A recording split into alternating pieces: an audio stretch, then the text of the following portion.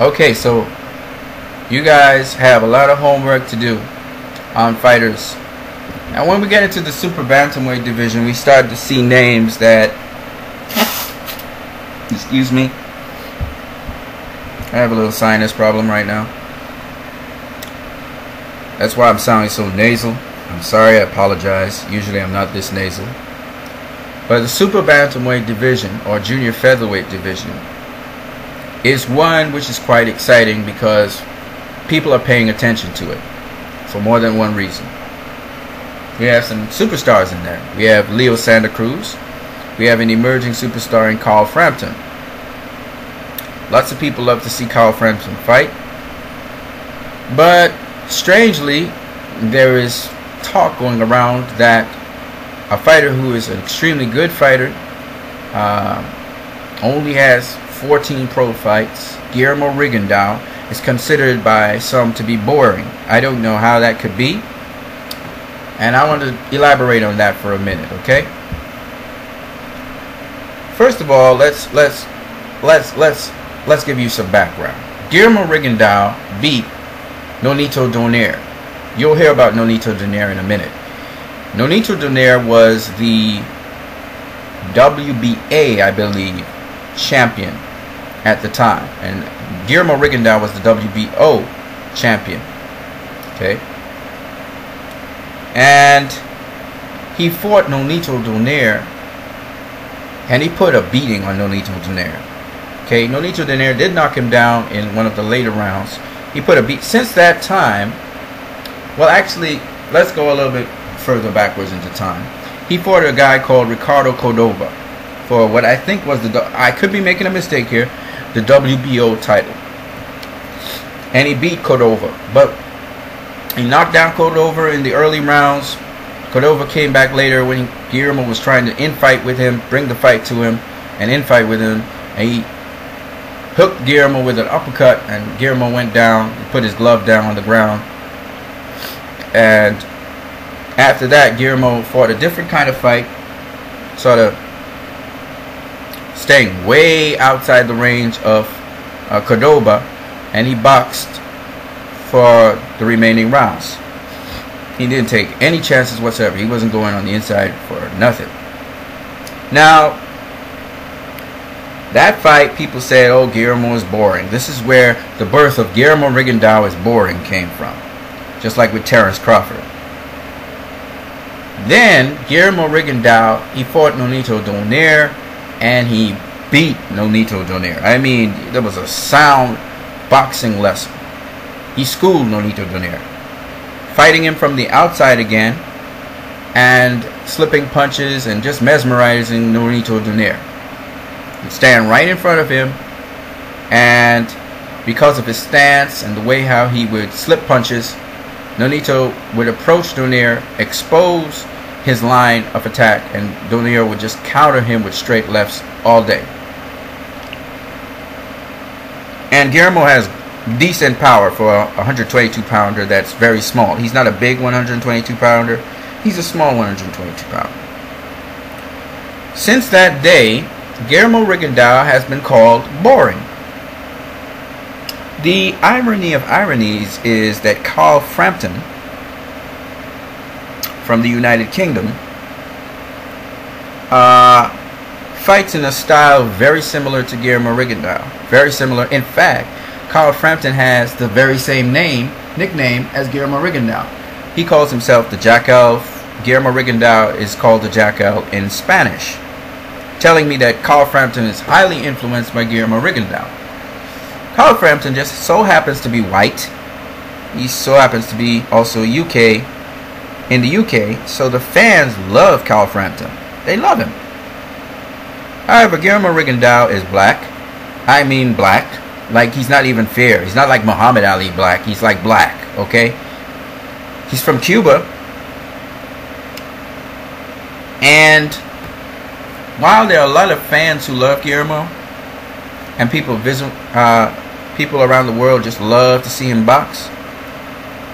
Apparently, that does not translate into his former promoter's top rank. They undersold and underplayed Guillermo Rigondeaux. to this day, they're still trying to get him out of the sport. And so we hear it over and over again. He's boring. And the more people say he's boring, is the more fans Guillermo gathers. So he has not defended his title since April 3rd, 2003 against Joseph Agbeko, where he soundly whooped Joseph Agbeko's ass. Excuse my language.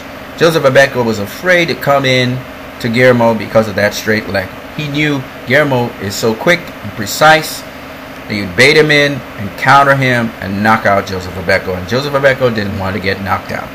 Okay? So we have the super champion or unified champion in Guillermo Rigondeaux here.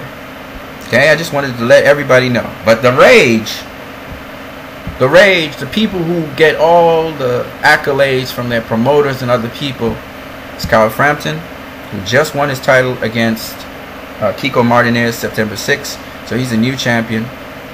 And Leo Santa Cruz, who's fan friendly, reminds us of Antonio Margarito to some degree, or Brandon Rios in there.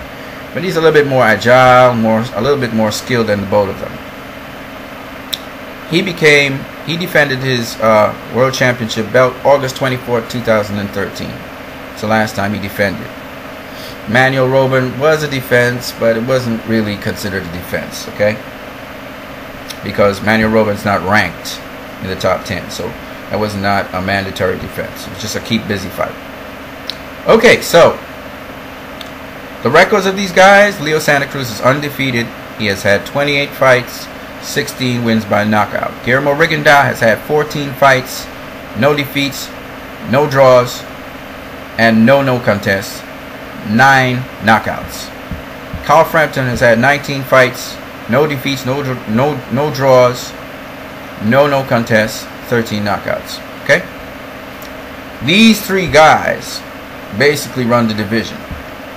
Uh, Scott Quigg is the regular champion in the WBA, 29 wins, two draws, 22 wins by knockout. As you can see, he should be fighting Guillermo Rigondeaux but he wants no piece of Rigondeaux. None. So Rigondeaux is like the elephant in the room in this division. Okay? Nobody wants to fight him. However, I do believe Leo Santa Cruz will step up. He will show that he's a man and he will fight Guillermo Rigondeaux next year. I do believe Leo Santa Cruz will give us that exciting fight. His chances of beating Guillermo are very slim, but he will fight Guillermo and he will have Guillermo on his resume, and that's all that counts. And he will show I will fight anyone, anytime, any place, anywhere. So even though Leo Santa Cruz loses his WBC strap, I'm going to give him mad props for that. I'm going to call him a true champion, even if he loses, because I believe that Leo Santa Cruz is has more kahunas than Carl Frampton and Scott Quigg, who's calling Guillermo Rigondeaux boring, and they're afraid to fight him. But Carl Frampton will probably never fight Guillermo Rigondeaux because he's also called the Jackal, and I do believe his orthodox style comes off of Guillermo's um, southpaw style. So I doubt these two will ever fight one another because he's called the Jackal, and, Guillermo's called the Jackal. I mean, come on, you know. But it is what it is. Of course, if these guys see Guillermo slowing down or he's getting old, they're going to jump at him. Uh, the other contender is Nehomar uh, Cermeño. Okay, he's from Venezuela. And uh, he has 22 wins, 5 defeats, 1 draw, 13 by KO, 13 wins. And the last time he actually fought or defended was August the 10th, 2013. So these are the guys in the super bantamweight, junior featherweight division. And um, you know what's the joke about that division as well that I think is very interesting? Guillermo Rigondeaux is probably the smallest junior featherweight or super bantamweight there. He's really a small guy. If you see him, it's really tiny. And so it's kind of funny to see that guys like Leo Santa Cruz or even Scott Quigg and Carl Frampton, they don't want to even fight this guy. To me, that's hilarious. Okay? Uh, let's go on to the next division.